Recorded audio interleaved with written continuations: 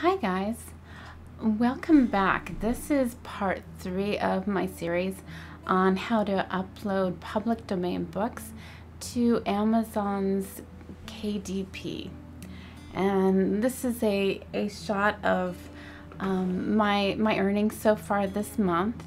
When I started this, this series, it was a lot lower. Um, but because I think people have been watching, um, it has really jumped up. Usually my earnings for, for a month are, are closer to around $20 or so.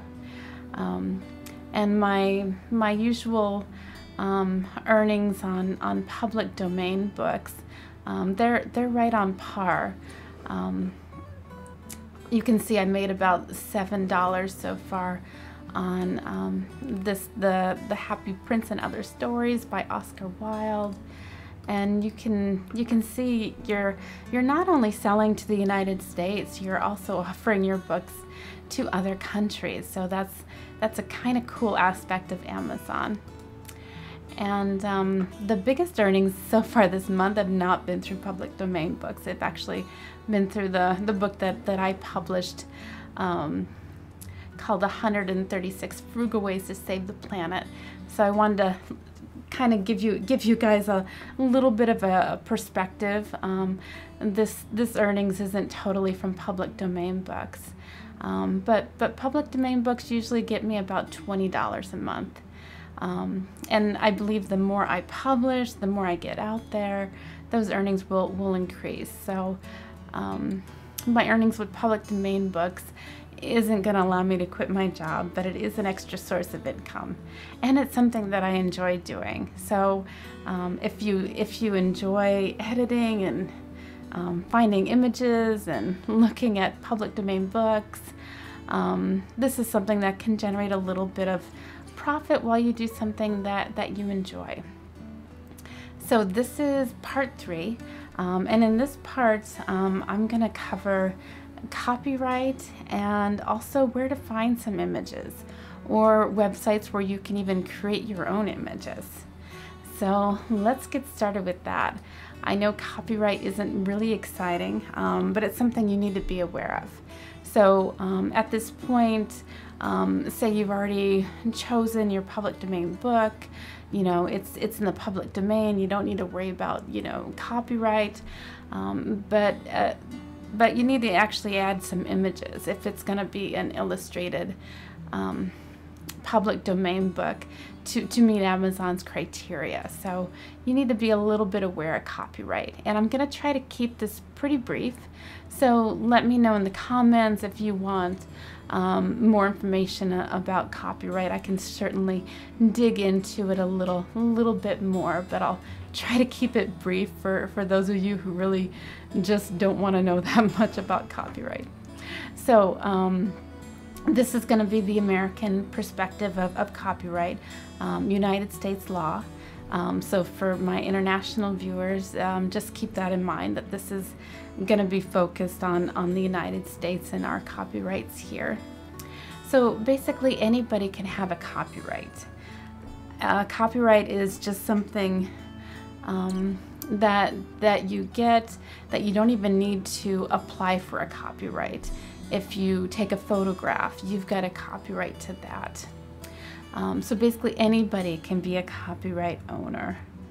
Um, and this is um, copyright.gov and I think it provides a really really good um, kind of baseline for information on on what is copyright and ownership um, a lot of a lot of good information there. So the thing that that I want to find are public domain images. Um, so what is public domain? Public domain means that you don't need anybody's permission to use that image.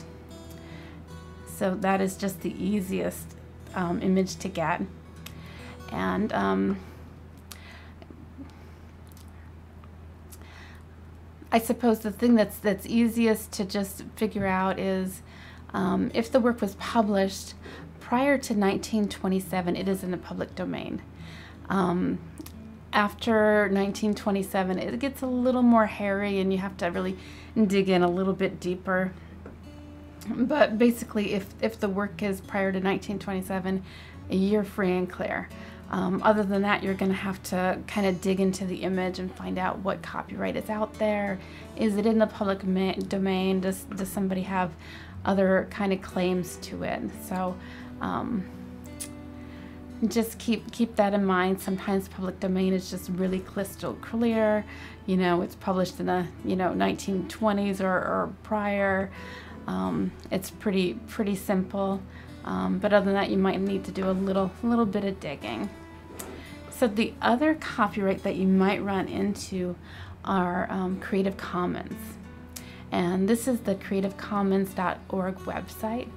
And there are six different types of copyright here. So, and there is a difference. So um, do keep that in mind. Just because it's Creative Commons doesn't mean every Creative Commons license is exactly the same. Um, the easiest is um, just the plain CC license, which allows you to distribute, remix, adapt, um, even use it for commercial use. So beyond that, you're going to see some other variations of that. Um, and you always want to give cre credit to the creator. So do I wanted to be sure and mention that. Do keep that in mind.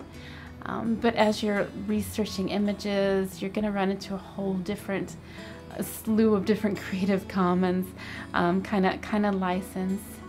Um, and you might even run into the CC0.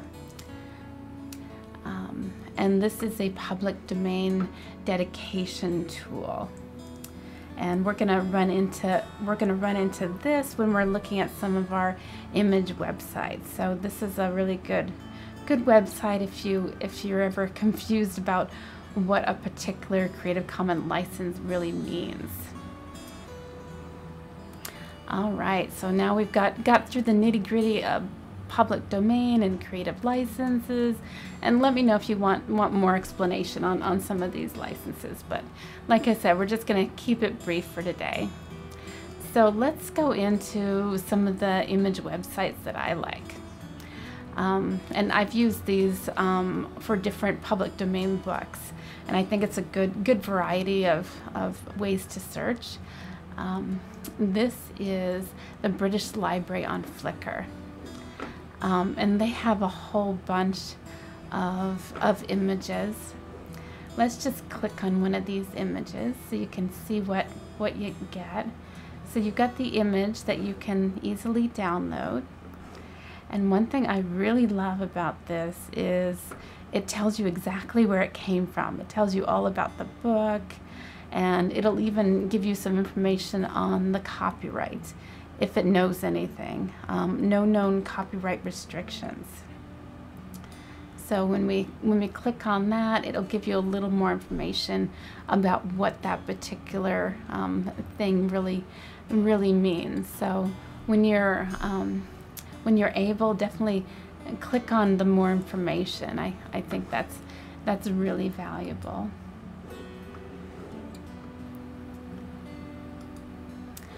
So that is um, that is the British Library. Like I said, they have just such a good variety of of photographs, tons of flower illustrations.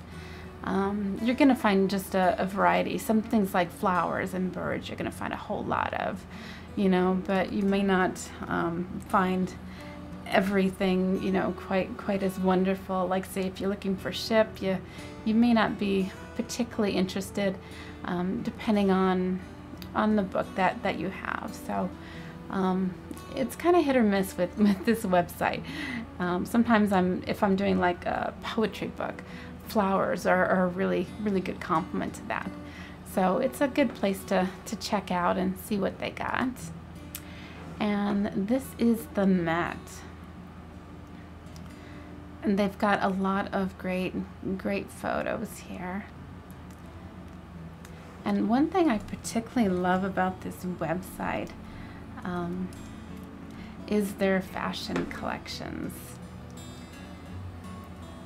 And you can do it, this is just a really broad search. You can get a lot, lot more specific.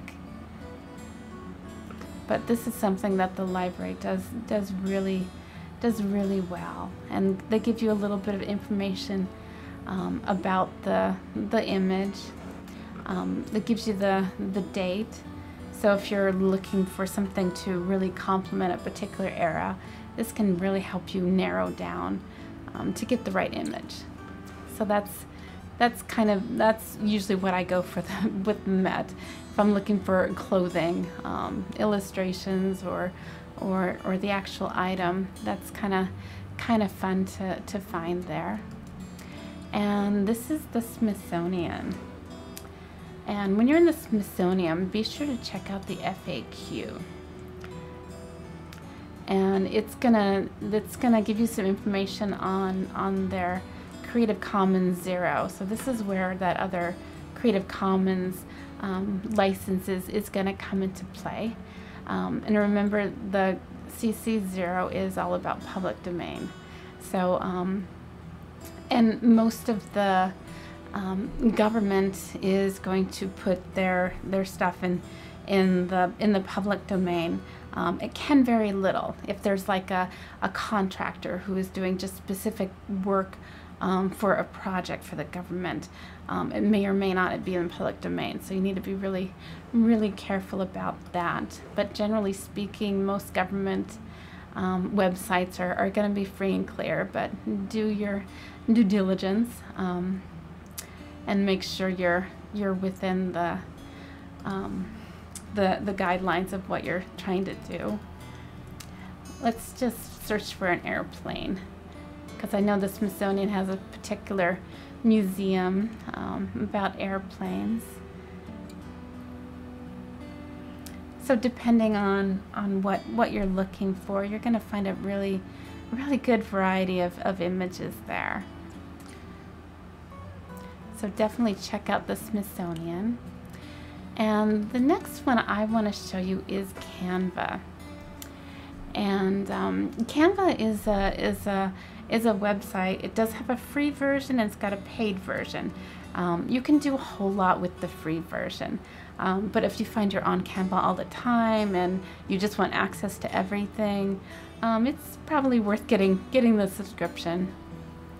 Um, but when it comes to books, what I generally do is um, when I'm looking for a particular illustration, you know, say it's a it's a children's book or or something, um, I will usually just try and create my own image.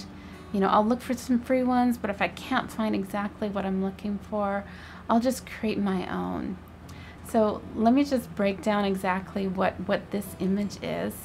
Um, most of this is just a, a free background picture. And this is a sun image that, that I added in. And I added in this bird, and I added in this tree, and then I even it in this branch. So I kind of lined up this, this branch with, with this tree and made it so it looks like the, the bird is actually on the branch. Um, so I think, I think those elements worked really good. And they're just super simple. Um, and just to show you what, what they have, if you just plug in a simple term like sun, you're going to get a variety of, of images. And when you run into something um, with this little this little crown icon, that means it's not free to use. That means you're going to need a subscription to do it. But even without the subscription, you've still got a variety of, of images that that you can that you can access. And tons of, you know, if you're looking for trees, they have tons of trees that you can easily just drag into your image. You can find a, a really simple background image and then just drag in elements. Super easy. So this is just a really brief overview on what Canva can do. Um, and if you'd like more of a tutorial, um, let me know in the comments and I'll make a, a more a more in-depth um, video on how to actually find and, and create some of these images. And another website that I really love is called Pexels. And these are totally free to use. Um, the authors have uploaded these pictures for you to use, and when you download, um, you can give people a, a, donation through their through their PayPal. So um, if you're feeling inclined, you know, definitely um, give them a little little tip or, or donation. Um, and they just have just a great variety of pictures. Let's do a really a really simple search. Let's just look for flower. So flower just gives you a really variety, really good variety of, of pictures. Um, and if you want really specific, they've even got um, some suggested terms. Um, in case you don't really know how to how to search, they try to try to help you out. Like say roses. And I think these images are so high quality. I think they they complement just about um, just about any any book that you're working on and make it look really like a quality and professional kind of book. So that is Pexels. Um, and I should mention that Pexels is the is the website that I'm going to use for inserting images into my document, which we'll get to in just a second. And Wikipedia. Um, excuse me, this is actually Wikimedia. Um, and this is a, a really easy website for for finding some images that, that are in either in the public domain or Creative Commons. So when you click on an image, it's going to tell you what the what the licensing is. So when you when you find the the license, um, you can you can go back to the Creative Commons um, licensing website and, and really just drill into it and find out exactly what, what that means.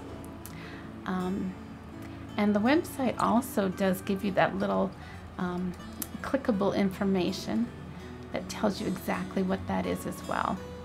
So there are a few few ways to find out exactly what those licenses mean, and I have not memorized what all of these licenses mean, um, so I always have to click on them. Um, but it will tell you whether it's Creative Commons or public domain. Um, so they have a lot of, lot of really, really good information. Um, and it gives you some options for, for downloading.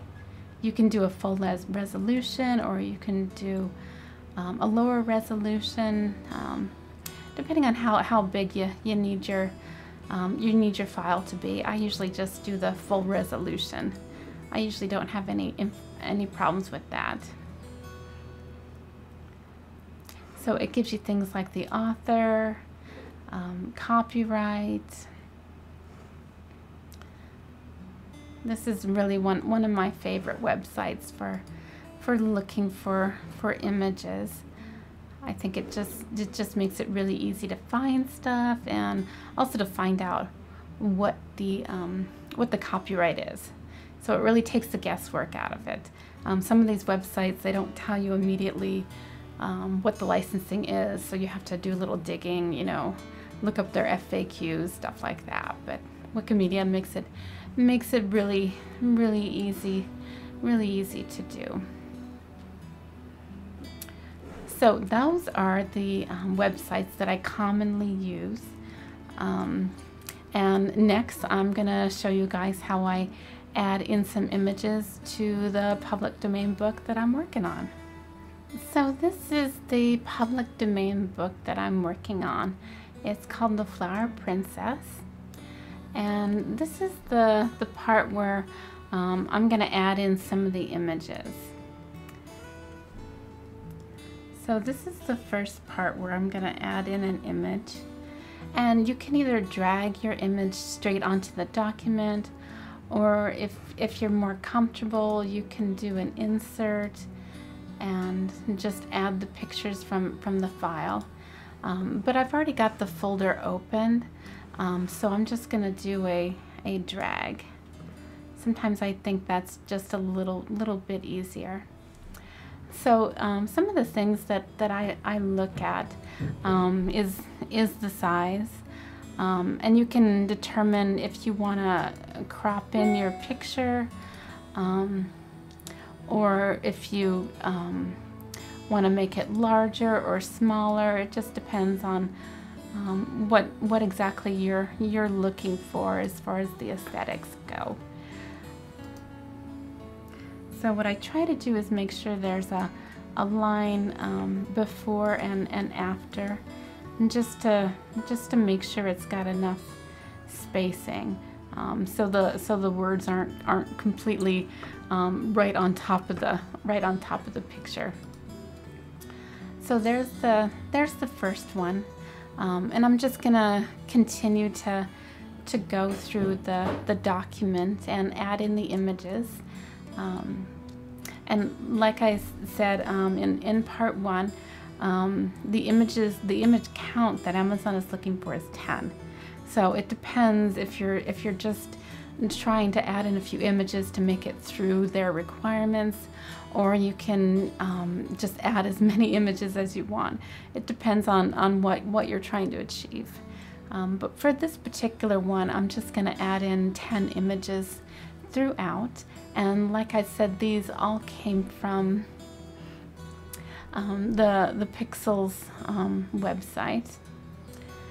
So what I'm going to do is just keep keep going.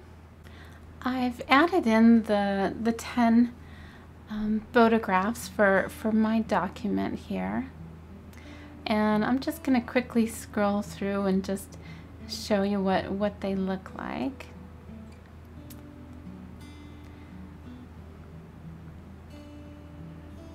Some of them didn't require much cropping at all and others did have to be cropped. It kind of depends um, what the dimensions are. So some, uh, so a photograph like this, where it's actually longer, you might have to crop it a little bit on the top and the bottom just to get it to fit. And for, for this one, rather than fiddling with it endlessly, um, I just cropped it enough for, for it to be on, on this pages with, with a small amount of text here. And then I centered it. So it's up to you how you wanna how you wanna work with some of the some of the photographs. And the same with this one.